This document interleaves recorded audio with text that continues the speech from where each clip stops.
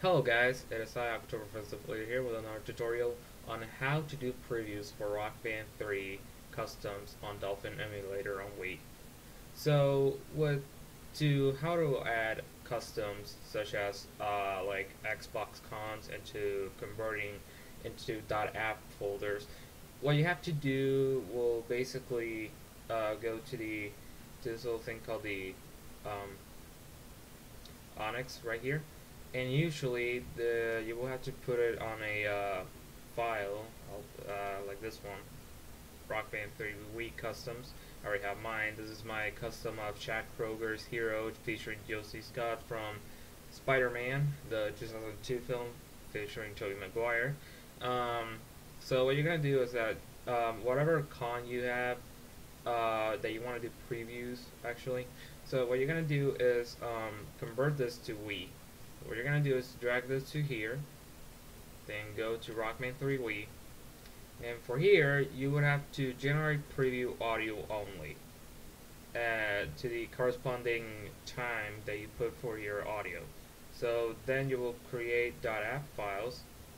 You have to put um, Rock Band 3 Wii customs. You will put OK, and let, let it uh, process for the moment and there we go. So now you're gonna ask where, where am I gonna put the uh, uh, these two apps right here? So what we're gonna do is that we are gonna go on documents on uh, let's see Dolphin emulator. Then later on Wii title 0001 0005 this then content and you know just basically uh, drag these two app files into here and refresh if you want. And there you already have your customs already planned out. I already have the custom already imported so we're gonna do now for the dolphin. So now um, my recommended version to use Dolphin would be the 5.0 version or 5 5.0 as you can see. Uh, you need to get your own copy of Rock Band 3 of course whichever it will work. So now to make it work with all of the uh, all of the um, controllers uh, what you're gonna do is that uh, you will go to controllers then every single one through 1 to 4 you're gonna put on emulated Wii mode then configure then for whatever you'll put in on default you have to remember some of the things as you can see right here. So later this will be guitar and guitar these will be for guitar and bass. And for here this will be for drums as you can see because as you can see there's an extension for it. You can always configure it over here. Oh and um, you need to change your uh, d-pad configurations or on the stick that usually it says up and down, left and right, you can change it to the uh, keyboard number pad because if you put it at the same uh, keys or controls as the uh, as the other controllers, it can be quite a little bit confusing to navigate.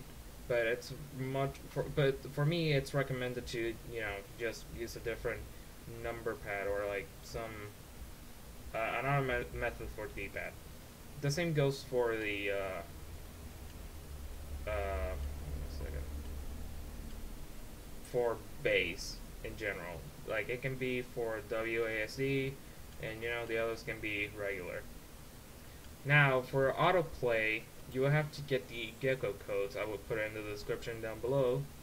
So the, these are the gecko codes. The only thing that you can put in my in my recommendation, if you don't care about the um, band animations, is to put it on concentration mode and never video venues. And you know, start fast startup if you don't want to wait for the entire logo to, you know, do its thing. And so you're gonna put fake microphone one connected, fake microphone two connected, and fake microphone three connected, and autoplay mode. That's how you're gonna get um, uh, all of the thing, all of the bands or the instruments to uh, play the instruments without you playing it and I, have tried with Deploy Overdrive if possible. For me, um, it was quite well. It, I don't know. I don't think it worked, or maybe I have to put the BNA, but I don't know. I didn't really touch it, but whatever. So now that you got everything settled, we're gonna start the game. I'm this full screen.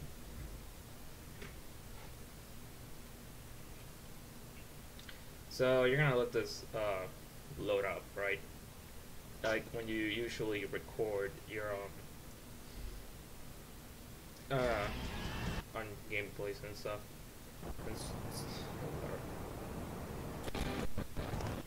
So yeah, so this is how it automatically puts in. It automatically puts in for test account your main profile and uh, you know, and the rest will be saying player one, player four, player three, and so on.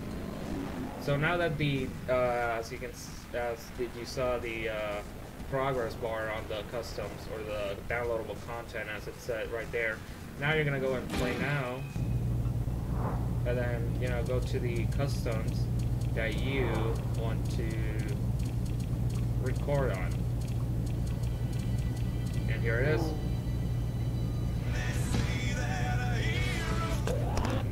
Later, you're gonna go and do this.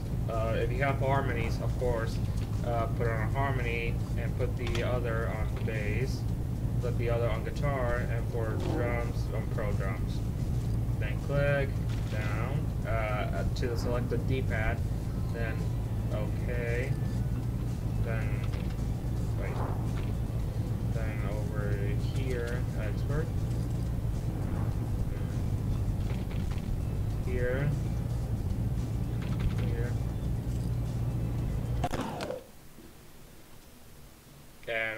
As it loads. Don't worry about the online players.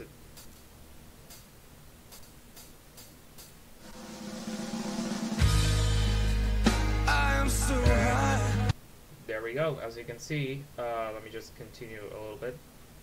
So, uh, I am so high.